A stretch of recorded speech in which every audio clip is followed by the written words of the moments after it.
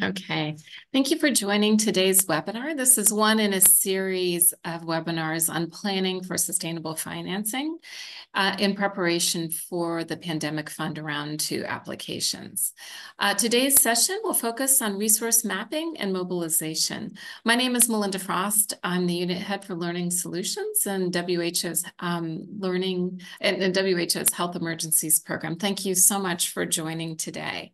Um, if we could please ask you to share uh, your name and where you're from in the chat function today. It really helps us to be able to understand who is joining into these webinars and um, just where you're from and, and what your interests are. If you have any questions throughout today's program, please, please go ahead and put that in the Q&A function uh, in your Zoom at the probably the bottom of your screen.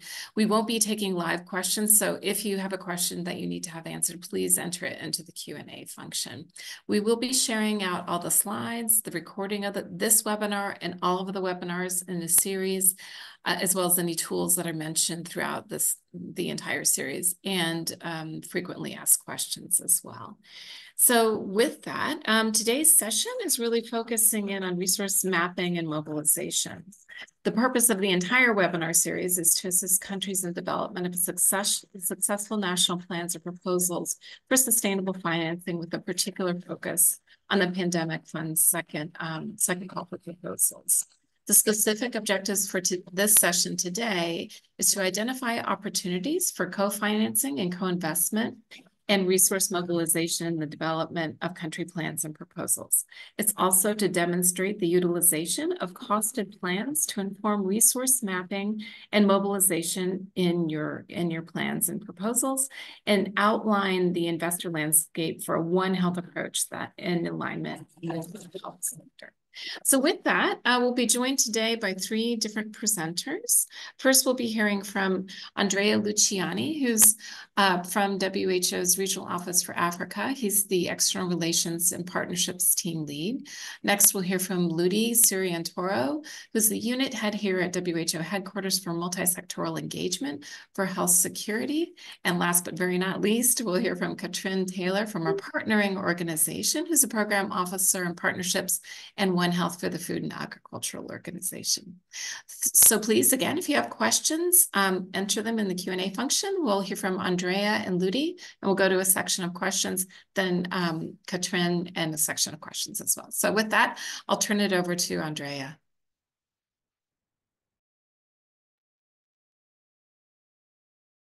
And uh, good afternoon and good morning to colleagues connected. I will uh, move forward to share my screen so that we can go into the presentation.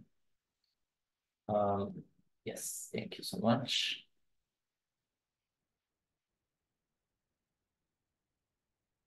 Just give me one minute. In the meanwhile, um, just let me introduce my name as uh, kindly uh, already mentioned is Andrea Luciani and I work in the WHO regional office for Africa in uh, Brazzaville, currently based in Brazzaville. So very nice to have you all here. So my presentation is going to be uh, focused on co-financing and co-investment, a bit to unpack uh, the definition of both and what is meant like by um, the pandemic fund. Uh, and I think it's very complementary with the intervention of the other speakers. And I hope you'll find it useful because I see uh, that uh, for the pandemic fund, this is a key uh, important aspect of the um, of each proposal that they are going to support and each proposal that they receive. But at the same time, I see there is a bit of confusion sometimes between the two and also how to really make them stand out in your uh, different proposals. So what is the scope of uh, co-financing and co-investment? We need to look at this from the perspective of the pandemic fund itself. As the words say, it is a fund. So one of the scope of the fund and of this pool funding that exist at the global level within the pandemic fund is really to be a multiplier of resources and an enabler of resources. So in their perspective, co-financing and co-investment, they really seek to bring new and additional resources to the different projects that they are uh, that they are um, financing. So it's either new resources that are uh, currently like not uh, yet awarded or not yet in place, or is it like uh, resources that are in place and are really complementary and in line with what the pandemic fund uh, would like to um, to uh, fund? What is the difference between the two in the definition uh, of uh, the pandemic fund? So first of all, in terms of co-financing, okay, both of them, um, they also include financial resources, but specifically the co-financing is really 100% focused on the financial resources that are required from implementing entities, which are the 13 that you are all aware from the pandemic fund of which WHO and our sister agency FAO, who is present in the call, are also part. Bilateral donors, philanthropies, private sector, any other sources, okay, that within your project are in line or can be used to complement either activities of your project, so really to fund components that are part of your project that are not directly funded by the pandemic fund, or are uh, in line and complementary with your project. So adding on top of what the proposal that you're uh, putting forward is going to cover.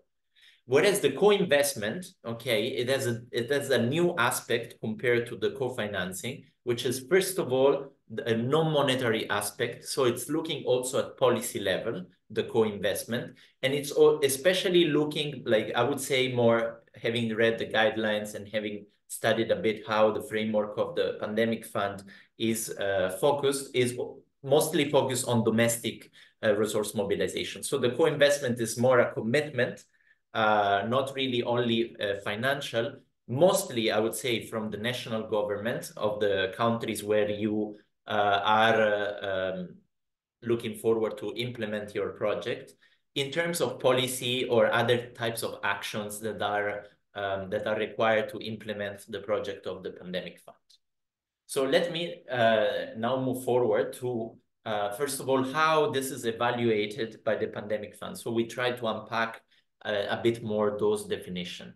First of all, I just wanted to draw your attention that out of the total score of the pandemic fund for the evaluation, you have 15% that goes to co-financing, co-investment, and overall available funding. Again, as you can see, it's quite high, 15% out of the total. And this is really because the pandemic fund looks forward for your proposals to be a multiplier of their funding. Ultimately, they need to be able to say for each dollar I invested in this proposal, I've been able to multiply and mobilize to X amount of dollar. And this is a way for them to look like really what to fund. So what is considered co-financing? I'm taking example of previous proposal that I've won. Um, as I said, it's basically linkages to existing or new donors. So to either existing funding or new funding that is coming. And I would say um, in these donors, we can include, as I said, bilateral donors. You can see an example here from OFDA. Of course, the numbers are uh, um, are not uh, uh, realistic, but I just wanted to give you an example of what is possible to put. As you know, the co-financing and the co-investment, they need to be inserted in an annex uh, table when submitting your proposals for the pandemic fund. So here I'm replicating the same structure. And as you can see, um, here there are two examples, one from OFDA uh, and the second one from um, the World Bank. So in this case, for example, you can describe how, how much the funding is available. In this case, let's say there are two uh, type of funding that are already awarded at the country level. And you can say that, for example, some uh, salary of people that are uh, uh included in the pandemic fund proposal are covered by this uh, stream of funding, by this specific project. You're required to say what is the time frame, the time frame specifically of that project, and which type of uh, activities, supplies, for example, or other things that type of funding is covering. I'm now like looking at a couple of uh, like key questions that the pandemic fund as um, technical advisory group looks at when evaluating co-financing. Okay, So this would give you an idea of how you need to represent it within your proposal. So one of the key questions, for example, is whether you the breakdown of the co-financing co commitment is clearly indicated in the proposal. So how much indeed details have you been able to provide to solidly put forward the co-financing that you have at country level? Secondly, for example, does the proposal bring co-financing that would be mobilized from implementing entities to complement the pandemic fund grant? As you know, implementing entities not only have the responsibility to manage the fund of the pandemic fund, but also to be further resource mobilizers. So implementing entities are also multilateral development banks like African Development Bank, Islamic Development Bank, um, the World Bank itself, for example. Um, and so I would strongly encourage you to work with these actors at the country level and at the regional level, of course, to be able to represent um, the correct co-financing within your proposal as all these actors, first of all, already have like big investments in those regions and in these countries, and also are able to further contribute to what you're putting forward uh, for your proposal. So as you can see also, there are another couple of questions is really how much co-financing in US dollar term? What is the ratio? So really the pandemic fund is looking at the multiplier for each dollar that they are going to invest in your proposal.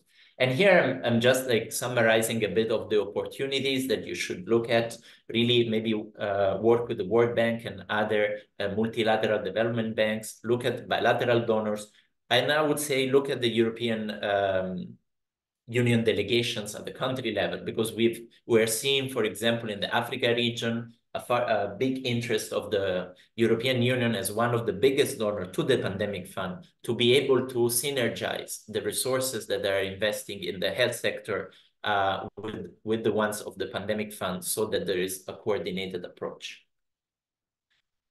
Now, on the co-investment instead, what can we look at uh, in terms of co-investment. Here, I'm putting also other examples that are drawn from proposals that I've won uh, last year, specifically in the Africa region, for example. So um, as I said, policy commitments are important, but also um, possibilities to mobilize um, to mobilize resources at the domestic level. So as you can see, for example, in the last line, uh, you can represent even policy at the national level that are in line uh, and have a budget with the ones uh, with the interventions of the pandemic fund.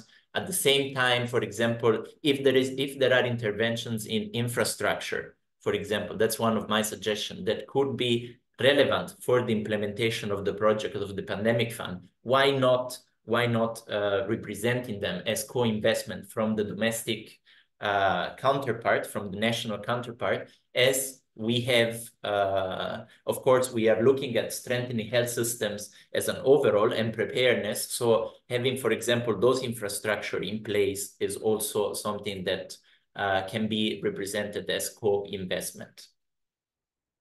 And again, what are what is the pandemic fund looking at co-investment uh, within the proposal?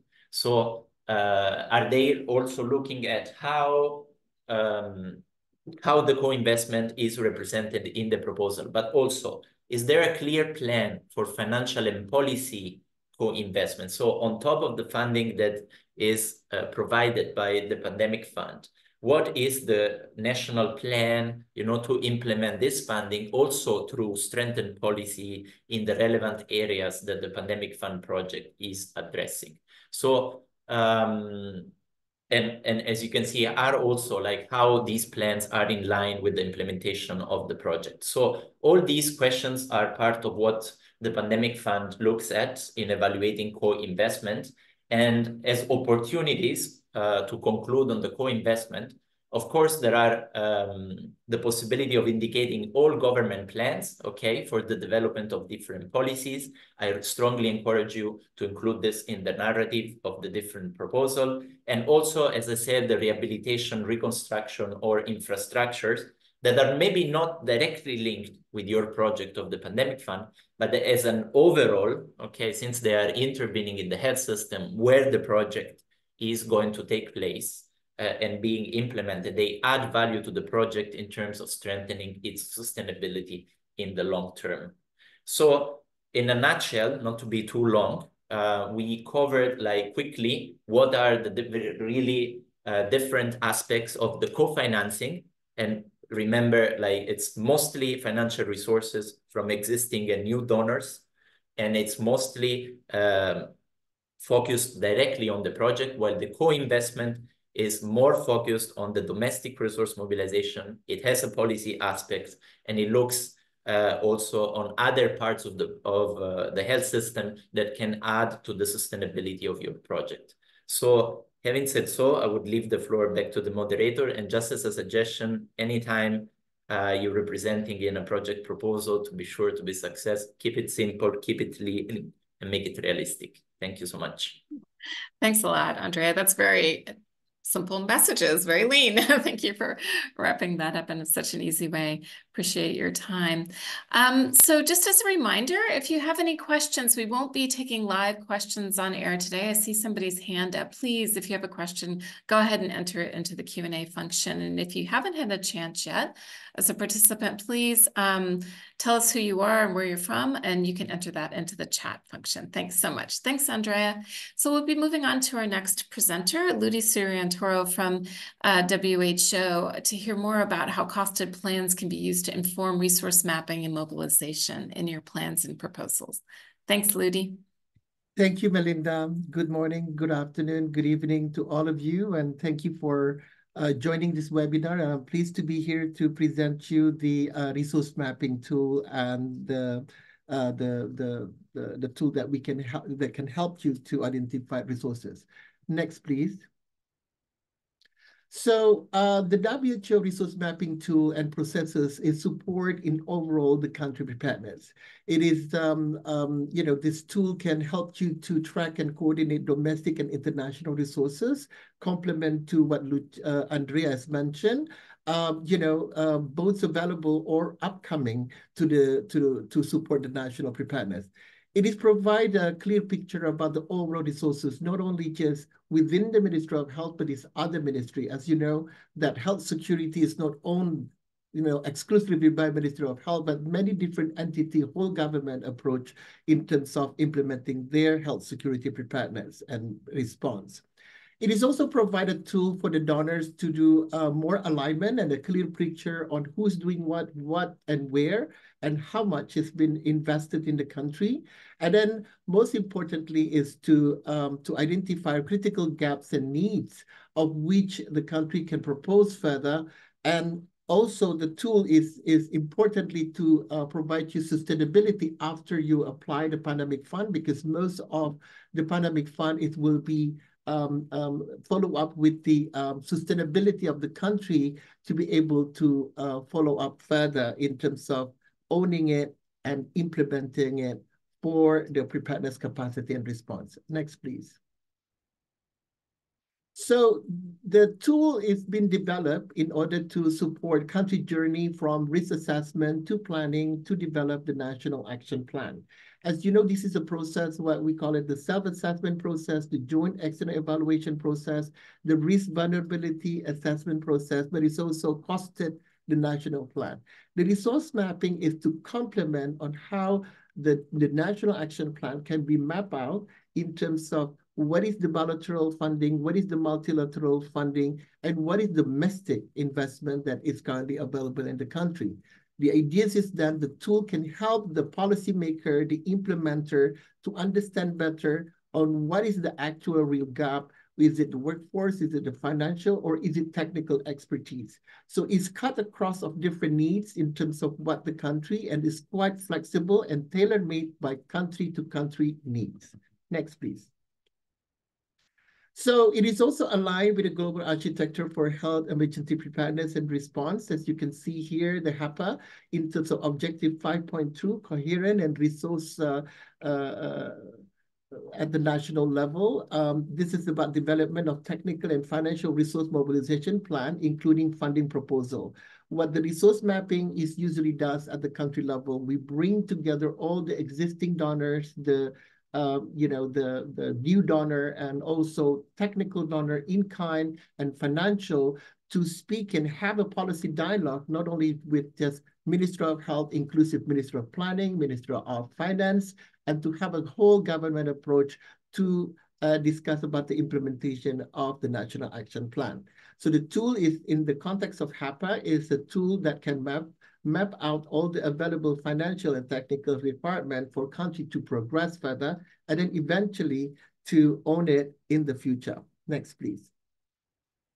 So this is just to give you a snapshot about what we have done with the tool and how many countries. So it's around more than 20 countries has done uh, the, um, you know, the um, resource mapping uh, workshop in terms of uh, the National Action Plan, around $2 billion um, has been mapped out. So it means that there are so many different implementer and different program is happening in the country. The country is not starting from zero. So we need to have that picture in order to make sure how is complement each other how the pandemic fund proposal can help the country to progress, but eventually also what is the plan to sustain it in the future, both on the capacity infrastructure needed be or addressing human capital investment so then to allow the country to have a better preparedness and response. So this is just a snapshot. In Nigeria, we have nine active members of partners, um, uh, 66 partners, sorry, but six minist uh, nine ministry involved in the health security, and we map out around 313 million.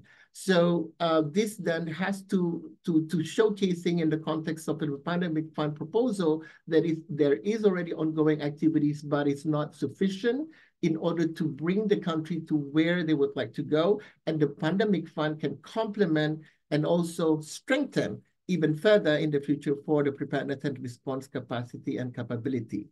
Next, please.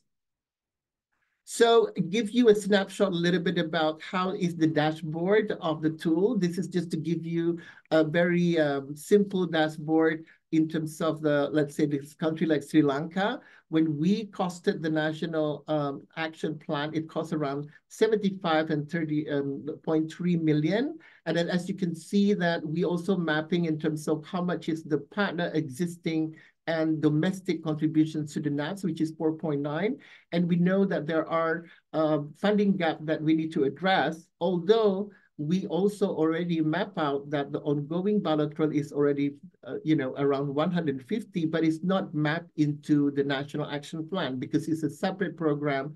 It is developed proposal, which is quite uh, uh, different from what the purpose, but the outcome and the objective is the, still the same. So what we can use with the resource mapping is to align those to make sure that we can have a, a conversation from the existing activities uh, in Sri Lanka to put and support uh, uh, the National Action Plan, increase that in terms of the implementation and acceleration. Next, please. So um, the resource mapping is really um, uh, inaugural to support the uh, prioritization of the country in order to move forward and progressive forward in terms of the capacity uh, under the International Health Regulation Monitoring Evaluation Framework. Um, so the, the resources that we map is also government and partner investment, as, as I mentioned earlier. It is using the tool that um, provides you the analysis and the gap identification. It is also consensus building between different ministries uh, who are uh, responsible to deliver the plan. It is identified based on the costed plan. So this is an estimation that for the National Action Plan, how much is going to cost. But it's also most importantly, it is aligned with the one of the criteria for the pandemic fund that we need to showcasing of the cost investment made by other partner, bilateral partner, multilateral partner, or public-private that uh, in that matter, such as in Nigeria, we know that there is a lot of public-private partnership aligned with the health security outcome. So the resource mapping is inclusivity, but it's also providing you a clarity in terms of um, um, flexibility on how the country would like to use it prior to the proposal, during the proposal, but it's most importantly as use you can use the tool for the future on how you can also uh, further advocate the budgetary and domestic financing using this as an evidence as we have an avenue for a conversation with the parliament and parliamentarian member particularly the financing committee in the country. Next, please. So um, in order to uh, make sure that we can support you, we can also provide a very fast track uh, resource mapping options. So uh, the idea is then we need to, um, normally we need to have a, a, a, considerable time to map out what is the you know overall investment that is made from our donor uh, data intelligence that we have in our uh, network of donors and partners already existing many, many years uh, in the region, globally, or bilaterally. So um, what we can do is that you can provide your data gathering uh, made by the country. We can showcasing and then making to, uh, the the tool ready for you to to have uh, to have uh, the discussion and validation. So it is very important to validate. And then from this, you can have the identification of resource mapping in terms of how to use it, distributed data collection as needed to the other ministry if you need it. This is a, a, a good uh, you know, exercise for the cross-sectorality, the whole government approach. And should you need further uh, support technically in using this tool, you can contact us uh, or my colleague, uh, Sean Cockerham here. Next, please. So I would like to emphasize that health security and the reality of the COVID-19 in the past is not only just, uh, you know, the responsibility of Minister of Health. Um, there is a lot of deliverables by different capacity or different technical areas, uh, such as risk communication, such as food safety, you know, point of entry, it requires a very well functioning of cross-sectorality within the government, within the country. So it is important that the resource mapping reflect that. So our process is really looking at the overall, not only just one uh, particular ministry, but the country should define it as this is voluntarily. Uh, it's, as I said, in Nigeria, they identified nine ministry vitally is vital to address global health security in the country they can build that proposal looking at that, what is the gap? And of course, the overall effort is really to support Ministry of Health, identify the bottleneck, but it's also technical uh, uh, uh, gap, but it's also financial, and all complement together to have an overall picture of where the country is leading towards in the future. Next, please. So this is my last uh, uh, slide. So basically, just to um, to uh, recap, so it is um, the tool is engage cross sectorality ministry and partners. So we have uh, partners typically health area, but it's also other technical areas. Uh, so for instance, not normally in the non-traditional partners of WHO, but they are providing funding. So it is important to to to build that. And then it is informed, the tool is informed to the national plan, but most importantly, complement to the pandemic fund requirement. And then last but not least, we are happy to support you with the fast track of the resource mapping process in terms of how you can build further on what available resources, how to address that in terms of alignment with the other donor, but it's providing policy dialogue and then sustaining what you are proposing under the pandemic fund with that note, uh, Melinda, thank you so much for the opportunity. Thanks a lot, Ludi. Very, very informative. Informative. Um, so when we take an opportunity to go to some of your questions now, um, so the first question that we have is actually for you, Ludi. Uh, what strategies are employed to identify and address gaps in resource distribution, particularly particularly in underserved communities or vulnerable populations? So uh, thank you very much. Very important. So the resource mapping, as I said, is quite flexible. It is developed to tailor-made the needs of the country. Some country is looking at only at the national level, but the reality on the community, as I said, in the field, that is the most vulnerable population at the local level. So in Nigeria, I give you example, we are mapping the resources not only in the capital or in what the hotspot area, but it's also at the local area, at the provincial area. And you can see there is a lot of imbalance of resources, how the resources distributed to the country, to different uh, entity, meaning the local NGOs, the local partners of ministries, and then how it's translated into in terms of activities. So the tool can provide that. Uh, it is all depends on the what the country requirements and needs. Great, thanks a lot.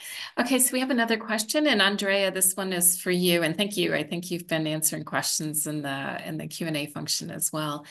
Um, Uh, so I'm just wondering if you could answer, how do governments and organizations ensure accountability and prevent mismanagement or corruption in the mobilization of pandemic funds?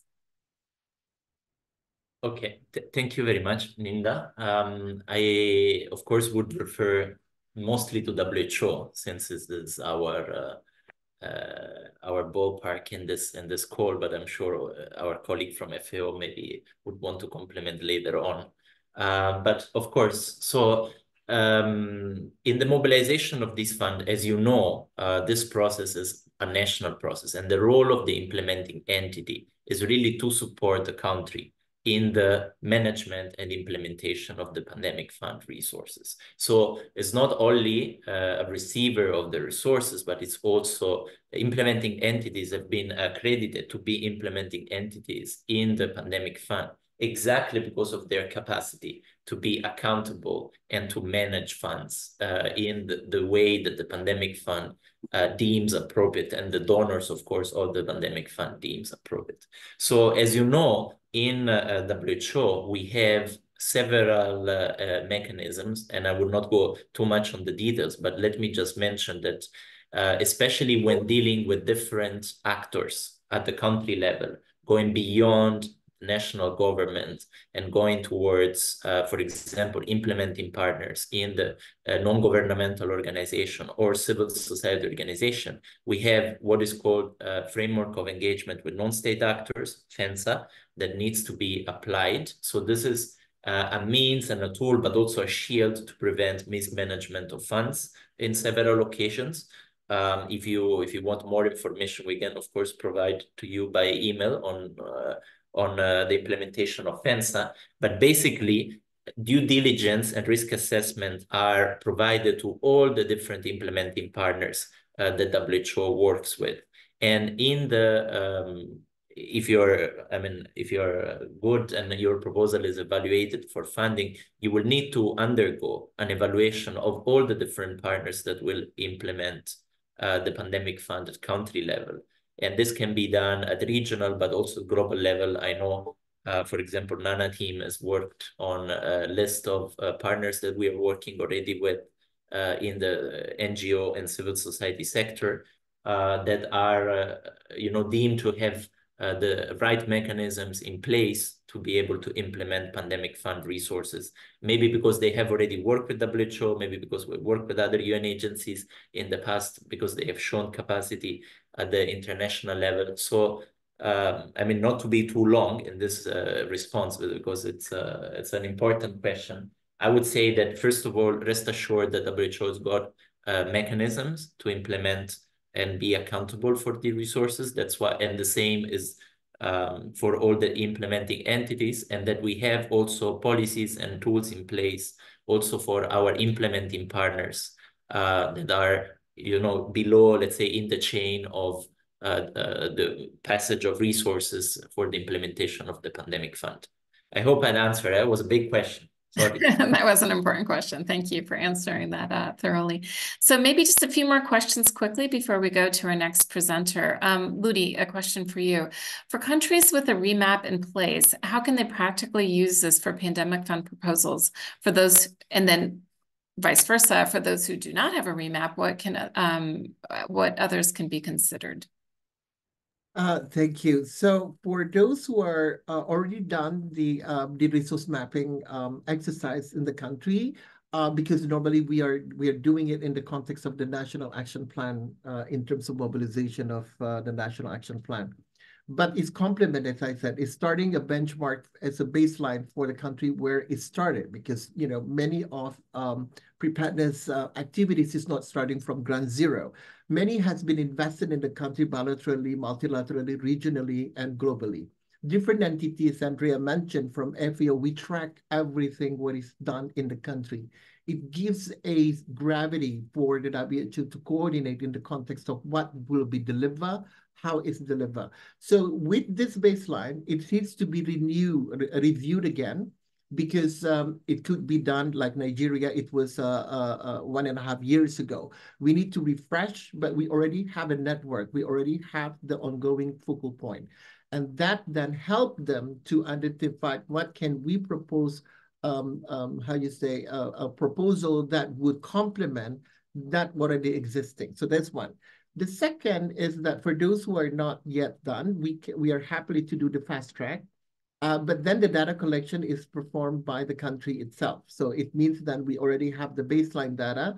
And normally we are contacting, um, you know, other donors. Uh, like for instance, we are tracking G700 countries that investing bilaterally for um, 100 country implementation of IHR. This is where health security preparedness lies on. And we provide those data and then we showcasing that this is going to complement the, uh, the future uh, pandemic preparedness, but it's also, it's not going to stop there, Melinda. After the pandemic fund successfully uh, achieved, then we further advocate to the parliament. We have a process of parliamentary engagement in our end. And usually we are discussing with the domestic financing financing committee of the parliament to make sure there will be a gradual human capital investment, infrastructure development, but it's also capacity building that reflect the distribution from national, subnational to local. So we are complete end to end, uh, but it's an exercise that needs to be performed. Happy to support if there is more uh, specific question or support for specific country. Okay, great. Thanks a lot, Ludi. I'll just ask one one more quick uh, question to Andre. I think it blends well from uh, Ludi's um, comments as well. How can lessons learned from uh, the mobilization of pandemic funds during the current crisis inform future preparedness and response efforts? So if you could please answer quickly, and then we'll move on to our next presenter. Andrea? Yeah, thank you very much. I, I think, uh, not to repeat also what Ludi said, um, I think uh, I would say that we as a community and institution working on preparedness and response and all this, we need to make the pandemic fund their lessons learned, meaning that like we were waiting for uh, a donor or a mechanism to be able to fund this intervention in a coherent, such holistic way, also with a power, uh, a firepower, if you pass me the term, uh, able, you know, to fund like uh, proposals and projects that were normally like scattered from many different donors and in small amounts. So what I, what we are seeing uh, from the first you know year or, or so of implementation in the different countries where pandemic fund projects have been approved and are being implemented is really that the pandemic fund should be the positive lessons learned because it has been able to bring a lot of actors together, not only like different implementing entities, so the different UN agencies, the uh, multilateral development banks, different ministries uh, together. You mentioned, of course, Ministry of Agriculture, Ministry of Health, Ministry of Finance. So bring together like a true commitment also from the uh, domestic counterpart. Uh, this, I think, should be the lessons learned to have this instrument and a tool uh, to be able to address like preparedness and response in a more holistic way than it was done in the past and with more power, of course, of convening different actors, including, of course, civil society organization and NGOs. Thank you. Great. Yeah, this has presented a new way of doing things, which will hopefully build in the future as we move on. Okay, great. Well, so as we uh, go to our next uh, presenter, I just want to remind everybody that the recording will be available of this and all of the webinar series. I think my colleagues can um, enter in the, the site in which you can locate the recordings later. Um, so with that, I'll move to uh, Katrin uh, Taylor from FAO. Thanks, Katrin.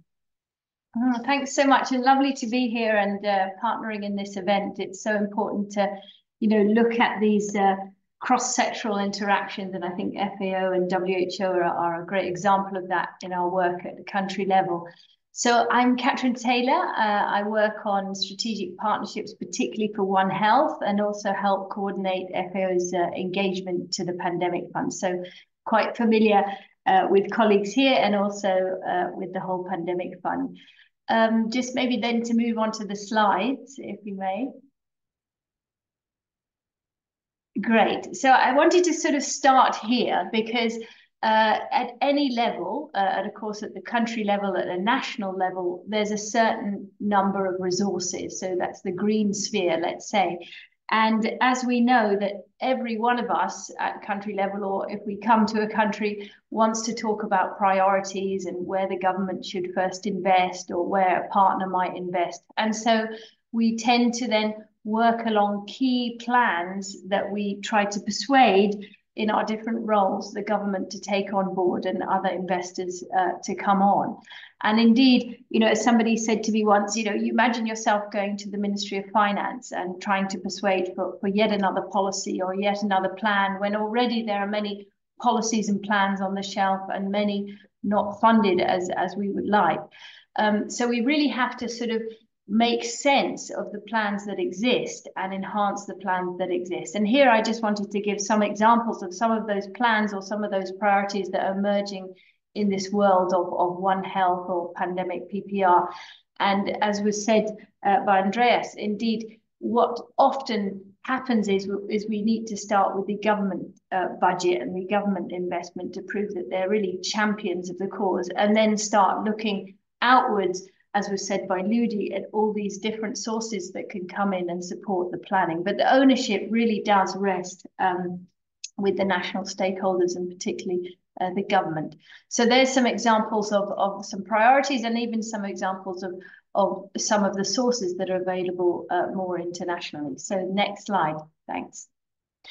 Uh, in terms of One Health, I think you're all very familiar, but uh, the One Health Joint Plan of Action was released uh, very recently in 2022. Um, and basically, that is a, a construct between uh, each of our organizations, including UNEP and WOAH, really looking at the internet connect between animals, plants, humans, and the environment. And there are six action tracks. I'm not going to belabor the, the technical details, but immediately, and as was said uh, earlier, there are many things we have in common that we need to work together uh, through a cross-sectoral approach. So next slide. In terms of then where can we get the funding and the financing? and here I differentiate funding from financing is that we've heard through the, the SDG dialogue and indeed the Addis Ababa and, and subsequent discussions that really we have to move from funding to finance. The challenge for us as UN is to really make the funding we receive catalytic. And the challenge for countries is to ensure that the national budgets plus other forms of finance, be they loans or grants, really then move into a, a, larger financial landscape because we can mobilize thousands, millions, or billions, and the billions really rests in the bigger financial landscape with the government and, and the banks as discussed.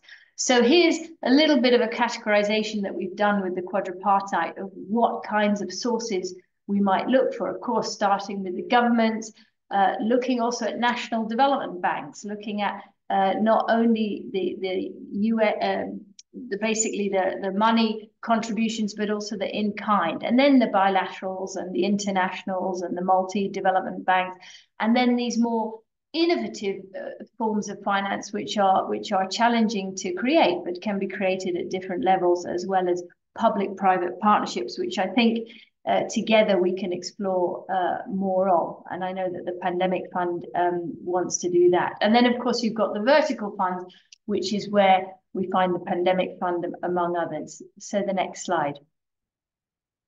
So when we look at the vertical funds, uh, the, the pandemic fund is, of course, the new vertical fund on the block, uh, and we've heard a lot about that. But there are other funds where, let's say, a One Health angle um, really does come into play. And the GEF and the Green Climate Fund, the Adaptation Fund, we're seeing increasing lens on One Health, and that's where we can also share maybe resources and work more together. Then, of course, the big global initiatives, those are, of course, implementing entities to the Pandemic Fund, but they often share uh, a role in co-financing and co-investment. So I think the very important thing here is when we look at the $1 that is asked for through the pandemic fund, how many dollars will it leverage? And on average, it leveraged six in the last round. So how are these other institutions or partners, co-investors, I, I, tend to like the term better than donors. How are these co-investors, if you like, um, actually adding up the, the maths? So those are some, some vertical funds, uh, maybe with the next slide. And other mechanisms, I, I'm not going into all the details of the bubbles explained earlier, but of course there are all the uh, multilateral and the regional development banks. We're seeing them come around very uh, much uh, on the pandemic fund, and I think that's been an excellent um, result, uh, ready result that's come out of the first round where we're partnering more as UN agencies with the banks. And then, of course, we've got our more traditional bilateral resource partners that happen to be, you know, in many different forms and also have if you like, their money in different pots. They'll be funding the pandemic fund, they'll be funding uh, the banks, they'll be also giving bilateral uh, aid and also funding the UN. So we need to also join the dots there because it's a sort of a, a milliard constellation of, of different actors uh, with different parts and different pots. And I think coordination around pandemic preparedness and to show that we're better uh, using money and more efficiently is another uh, element that we want to look at. So this is the landscape. This is the beginning of a landscape analysis. And uh, as FAO, we've actually profiled each of these to sort of find out more how we can access and engage together with uh, WHO and quadripartite partners. Okay, next slide. So just a quick one on PPPs, private sector partnership, uh, public partnership uh, opportunities. Um, I think this is an area we probably need a whole webinar on this, but uh, ultimately we need to explore it more, I think, in all of our organizations. Um, we in FAO tend to do this in the sort of ag value chain uh, domain where we bring the actors together and we facilitate and we backstop that relation building and de-risk the investment. So we don't per se manage funds. We might bring in some bilateral to help, but ultimately it's a negotiation between uh, the government and, and the private sector. So that here's a here's a definition that I, I thought was helpful from the European Investment Bank. And uh, it's all about transferring certain risks between the government and private sector and trying to get to trying to get better value outcomes. I'm sure it's all been said. If we as the UN work more like the private sector, we might be more efficient in part. But this is, of course, the whole issue is where can you get the best out of the private sector and the best out of government institutions. So next slide. So there's there's two types, and again, you can imagine what this might be in healthcare, animal healthcare, etc. But we don't need to go into great detail. But I think it's something to begin to actually explore and maybe even pilot as, as part of pandemic fund proposals that dialogue phase of seeing with the government where you might employ a user pay approach. You, the toll roads are the biggest example. You'll have plenty of examples in, in health, or the government pay structure, uh, of course, where that might come into laboratory um, uh, infrastructure, etc. So I think that's something to explore. And IFC uh, as also an implementing entity, the Hat Fund are very interested in, in going down this, this road. And of course, that uh, is large amounts of money and has a large footprint in terms of um, result and impact. Okay, next slide. So very quickly, um, what does resource mobilization take or what does investment leverage take whether we're looking at getting investors into our plans or resources mobilized uh, for the UN to help uh, the governments or whatever first we need to of course identify the source and I've given you some examples of the different sources and you've heard from Ludi as well all the different sources that are already being employed we need a strategy for engagement negotiation and managing and reporting to communicate results. And maybe the last slide here is to you know remember that the product is is very important whether it's for the pandemic fund or whether it is indeed you know for the plan itself what are the priorities within it and how well have we defined the the product and the price if you like for sale and the place and the promotion and often sometimes we we well let's say sometimes we find that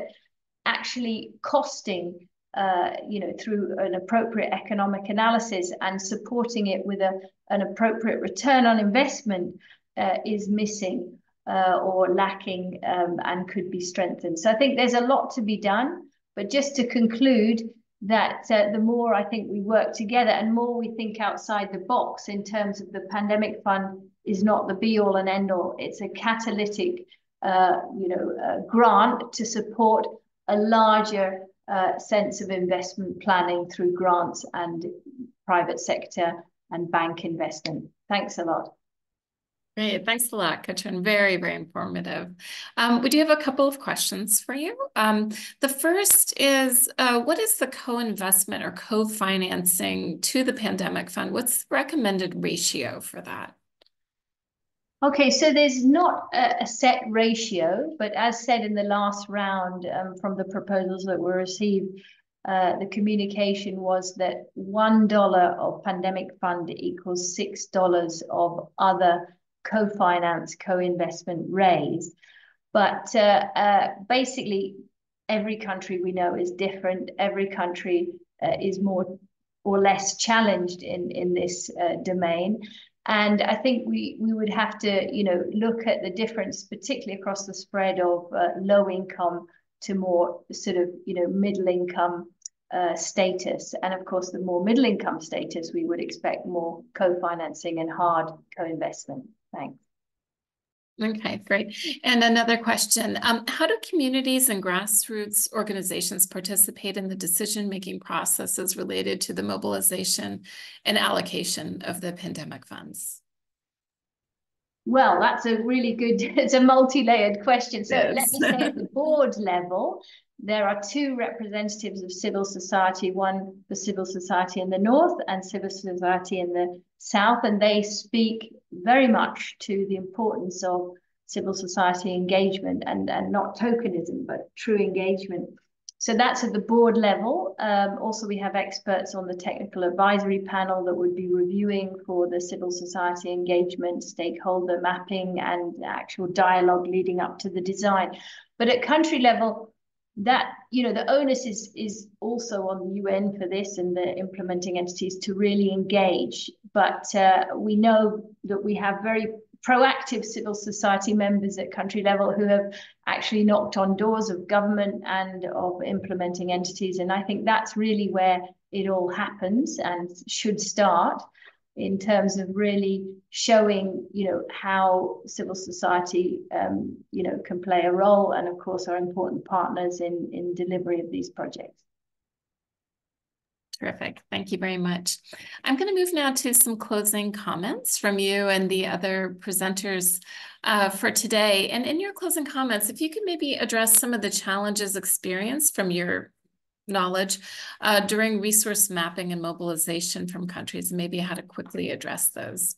I'll go to you first, Katrin.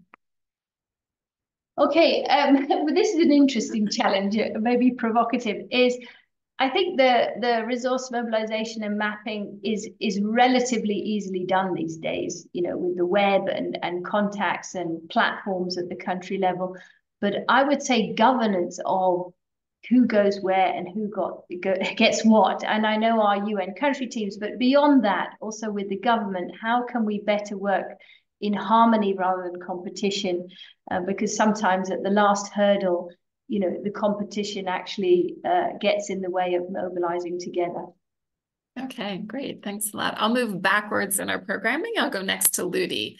Closing comments. What are some challenges experienced during resource mapping and mobilization? If you could address those and some solutions. Thank you. Um, I think the challenges, I mean, country to country is very unique because resource mapping process is tailor-made for the country. Exactly the structure of the country is not going to be then, you know, general, I mean, standardized. After that, we have 20 countries. We will standardize the commonality. But I think the, the consensus building of different ministry, it is quite overwhelming in terms of uh, building then agreeing on key prioritizations because, you know, there are priorities that the country can can really um, implement. Um, so it's really building the consensus among different uh, stakeholders. The second challenges is also looking at the expertise that is not only just finance, but it's also the expertise to deliver the program, deliver the project. And that is, um, you know, combined, and we combined effort with the institution and partner who is providing those expertise. The WHO is a convener at the country level, at the regional level, at the global level to support. So I think those are the key challenges, and I think we need to build um, uh, those cross-sectorality much more better. Okay, great. Thanks a lot, Ludi. And final comments from you, Andrea. Thank you very much. I would say coordination as a challenge. Um, that's probably the most because uh, many actors intervening together, as uh, I think Catherine said, it's easier to map all these resources and intervention, but then how to link them together in a coordinated way so that the investment from pandemic fund becomes valuable and relevant. That's the key question that I suggest all colleagues should address uh, in developing those proposals and looking especially to domestic commitment, which we have seen in round one has been a game changer for winners. So that would be my my closing. Thank you. Perfect. Okay. Thanks a lot, Andrea. Um, thank you to all of the presenters today, Andrea, Lu uh, Andrea, sorry, Ludi and Katrin. We really appreciate your time. And thank you for the participants for joining today. Um, I wanted to notice that there have been a couple of questions that are more relevant for the Pandemic Funds Secretariat, some specifically around complementing the implementation of the product solution proposal and some contact information. So it's best if you just go ahead and contact the Secretariat for the Pandemic Fund. My colleagues will enter the email address for you in the chat area, but it's the T-H-E underscore pandemic underscore fund at worldbank.org. Again, the underscore pandemic underscore fund at worldbank.org. Please ask those questions uh, to the Secretariat there. Okay, we have some additional resources here that we'll provide through the slide sets, et cetera, some templates, um, and other supporting information. Uh, you can see it there on the slide. If you have additional questions, I think we can go to the, the next slide. You can, well, you'll see other our other webinars in the series, and we have just a few more coming up uh, later this week, actually tomorrow, monitoring and review of the proposals, and then next week finalizing the pan pandemic fund proposal. If you have additional questions, please go ahead and email us at WHO at WHE, that stands for WHO Health Emergencies Program, WHESPP at WHO.int. So please uh, send WHO related questions there. And if you have a free moment, please scan that QR code and provide us your feedback. We really appreciate it. It helps us to be able to improve future webinars. So again, thank you to our presenters today and thank you to the participants for your time. We'll see you next time. Bye.